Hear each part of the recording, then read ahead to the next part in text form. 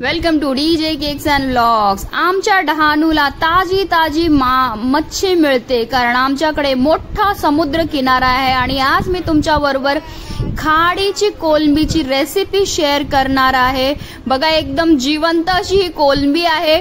तिला कशी मी साफ केली आणि त्याची गंमत जम्मत सुद्धा बघायला मिळणार आहे. कारण बघा घरी आणली तरी ती जिवंतच होती. मला मच्छी साफ करायला भीती वाटते. बघा ही अशी चालत होती तरी मी जसं तसं त्याला सीझरने कट केलं एकदम मॉडर्न प्रकार.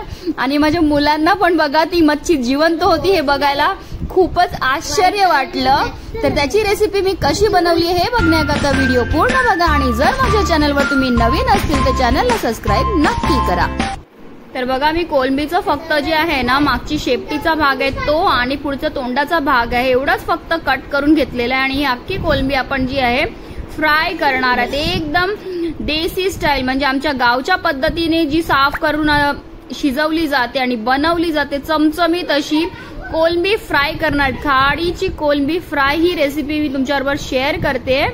आता बघा ही कोलंबी जिवंत होती त्याच्यामुळे ती मध्येच उड्या मारायची आणि मग मला भीती वाटायची. पण तरी सुद्धा अशी व्यवस्थित मी तिला स्वच्छ साफ करून घेतलेली आहे पाण्याने धुवून घेतलेली आहे. तर बघा आता आपण रेसिपीला स्टार्ट केलेली आहे. तीन कांदे मी व्यवस्थित स्लाइस करून घेतलेले आहेत. अगेन हे मी पांढरे कांदे वापरलेले आहेत. आमच्या डहाणूला ताज्या ताज्या भाज्या सुद्धा भरपूर मिळतात. त्याच्यामुळे मी व्हाईट पांढऱ्या कांद्याने ही तुम्हाला रेसिपी दाखवत आहे. तर बघा मी पॅन ठेवलेला आहे. आणि त्याच्यामध्ये एक चमचा आपल्याला तेल घालून घ्यायचं आहे. आणि तेल थोडं तापलं की त्याच्यामध्ये आपल्याला एक छोटा चमचा जो आहे हिंग घालून घ्यायचा आहे. आणि ते व्यवस्थित परतवून घ्यायचं आहे आता त्याच्यामध्ये आपण जे स्लाइस केलेला कांदा होता तो व्यवस्थित टाकून परतवून घ्यायचा आहे. छान परतवायचा आहे आपल्याला त्याला. त्याचा कलर नाही बदलायचा आहे कारण मी फ्लेम एकदम लो ठेवली आहे सध्या तरी. आणि त्याच्यामध्ये एक चमचा आपल्याला अद्रक लसणची पेस्ट टाकायची. ती टाकून व्यवस्थित मिक्स करून घ्या आणि नंतर जे आपल्याला त्याला झाकण लावून एक साधारण दोन ते तीन मिनिटं शिजवून घ्यायचं आहे. बघा असं मी व्यवस्थित परतवले आता आपण ह्याला झाकण लावून शिजवून घेऊया. आता दोन ते तीन मिनिटं झालेली आहेत आणि बघा आता आपल्या कांद्याचा पण थोडासा रंग पण बदललाय. मऊसर झालेला आहे आणि ह्या स्टेजवर आपल्याला ह्याच्यामध्ये टोमॅटो घालून घ्यायचे. टोमॅटो पण व्यवस्थित आपल्याला शिजवून घ्यायची. ती मऊ झाल्यानंतरच पुढचे मसाले ह्याच्यामध्ये पडणार आहेत. म्हणून ते सुद्धा झाकण लावून आपण शिजायला ठेवूया. साधारण तीन मिनिटं जरी मी शिजवलेलं होतं आणि बघा आता ह्याच्यामध्ये आपण तीन मिनिटं जरी मी शिजवलेलं होतं आणि बघा आता ह्याच्यामध्ये आपण हळद टाकणार. एक चमचा लाल मिरची पावडर टाकणार आहेत. एक मोठा चमचा आणि धनिया पावडर टाकणार आहेत. एक चमचा. मसाले कमी जास्त तुम्ही तुमच्या आवडीनुसार करू शकतात.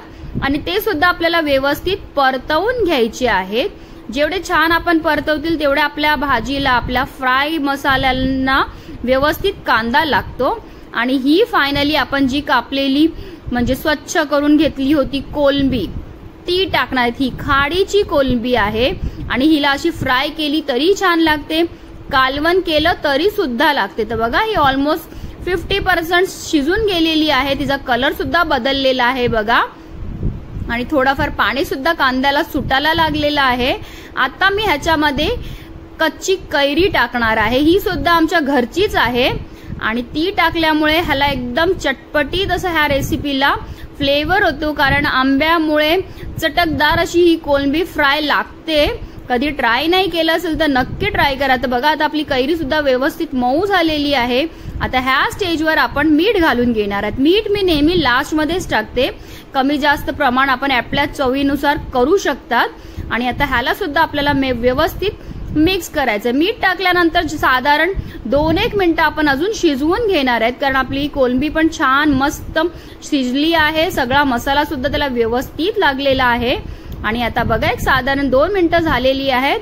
आपली कोलंबी फ्राय खाडीची कोलंबी फ्राय ही रेसिपी झालेली आहे. याला मी कोथिंबीर बरोबर गार्निश केलेली आहे आणि सर्विंग बाउलमध्ये काढून सर्व केली आहे. ही तुम्ही कशाबरोबर ही खाऊ शकतात? भाकरी बरोबर खावा भाताबरोबर खावा चपाती बरोबर खावा.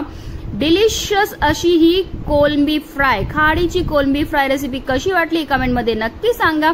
नवीन असतील तर चॅनलला सबस्क्राईब करा. Thanks for watching D J cakes and blogs